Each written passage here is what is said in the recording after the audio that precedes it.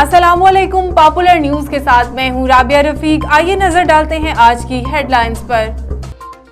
حکومت کے خلاف اپوزیشن اتحاد نے شہر اقتدار میں میدان سجا لیا۔ جے یو آئی کے آزادی مارچ کا پشاور موڑ میں پڑاؤ۔ مولانا فضل الرحمان کا مختصر خطاب شرکا کو مبارکباد دی۔ بلاول بھٹو کے قافلوں کی بھی جلسہ گاہ میں آمد۔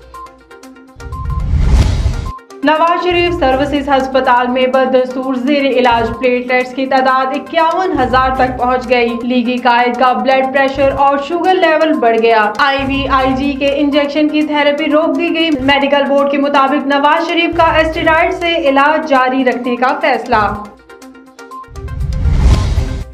کرتارپور راہداری کی افتتاحی تقریب وزیر اعظم عمران خان کا بھارتی سکھ یاتریوں کے لیے بڑا اعلان۔ عمران خان نے ٹویٹر پیغام میں کہا کرتارپور آنے کے لیے سکھ یاتریوں کو ویزے کی ضرورت نہیں۔ بھارتی سکھ یاتریوں کو دس روز قبل رجسٹریشن بھی نہیں کروانا پڑے گی۔ کرتارپور کی افتتاحی تقریب کے لیے بھی کوئی فیس وصول نہیں کی جائے گی۔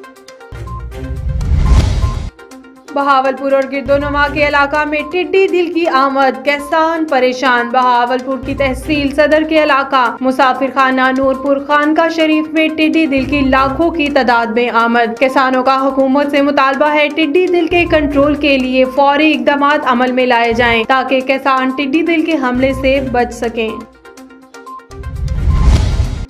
ڈی پی او بھکر کی ہدایت پر بھکر پولیس معاشرتی جرائم کے خاتمے کے لیے ترجیحی بنیادوں پر کارروائیاں کر رہی ہے۔ S H O city Malik Akhtar Bugga کا جسم فروشی کے اڈے پر چھاپا دو مرد اور چار خواتین کو رنگے ہاتھوں گرفتار کر لیا۔ گھوٹ کی ڈہر کی S H O Muhammad Tufail Bhutto نے خفیہ اطلاع پر چھاپا مار کر قتل کے تین ملزمان کو گرفتار کر لیا۔ ملزمان نے سات ماہ قبل تائیس سالہ نوجوان لیاقت علی ملک کو یہ کہہ کر قتل کر دیا تھا کہ اس نے ہماری بھینسوں کو زہریلا گھاس کھلا کر مار دیا تھا۔ تھانہ ڈہر کی میں ملزمان کے خلاف مقدمہ درج کر لیا گیا۔ نیوز روم سے فی الوقت اتنا ہی، مزید جاننے کے لیے دیکھتے رہیے پاپولر نیوز۔